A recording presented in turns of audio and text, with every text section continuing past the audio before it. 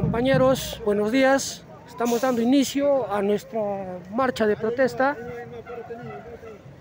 en contra del paquetazo antilaboral que está dando el Congreso.